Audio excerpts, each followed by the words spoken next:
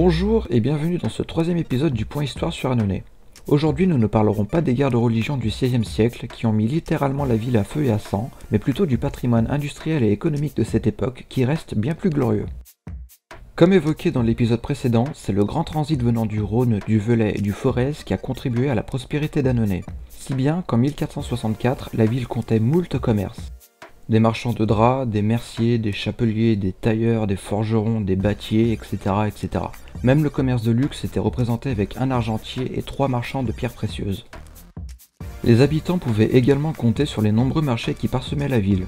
Du grain, des légumes, des chaussures, du gros et petit bétail, il y avait de tout. En parlant de bétail, c'est la prospérité des élevages qui a contribué à l'essor du travail de la peau à partir de la guerre de Cent Ans, vers 1337. Au départ, le tannage des peaux n'était qu'un complément pour les éleveurs de la région, une sorte d'activité secondaire. Cependant, cette activité va contribuer à terme à la création des faubourgs industriels le long de la Canse principalement, la Deume étant occupée par les moulins à foulons des drapiers.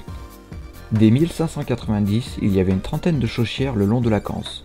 Une chauchière, c'est une sorte de grande cuve utilisée par les tanneurs. L'abondance des peaux fournies par les troupeaux des hauts plateaux multiplia les ateliers de transformation. Entre 1780 et 85, ils ont traité chaque année une moyenne de 15 000 cuirs de bœuf, 10 000 de veau et 50 000 douzaines de peaux de chevreaux et d'agneaux. Parallèlement à tout ça, l'industrie du papier a été importée sur le bassin par les frères Johanneau en 1634, suivi de près par les frères Montgolfier en 1693. Malgré des débuts modestes, les deux grandes familles travaillent en permanence à perfectionner leurs procédés de fabrication, notamment grâce au retail des peaux que les tanneurs et mégisseurs transformaient en colle forte elle permettait aux papetiers d'améliorer grandement leurs produits. Si bien qu'à terme, la production d'Annonay posséda une qualité supérieure à celle des autres producteurs français. Les premières machines, des piles à cylindres hollandaises, seront introduites en France par Pierre Montgolfier en 1774. Elles vont transformer les modestes moulins du début en véritables usines. En 1780, à la veille de la Révolution, la ville comptait le long de la Dôme 5 usines pourvues de matériel récent, qui produisaient 600 000 livres de papier contre 350 000 en 1745. Une dernière info pour finir.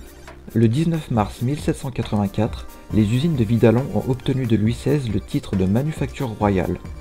Les mauvaises langues diront que de telles dignités n'ont pas été obtenues pour les innovations dans l'art de la papeterie, mais pour l'invention des fils de Pierre Montgolfier, Joseph et Étienne.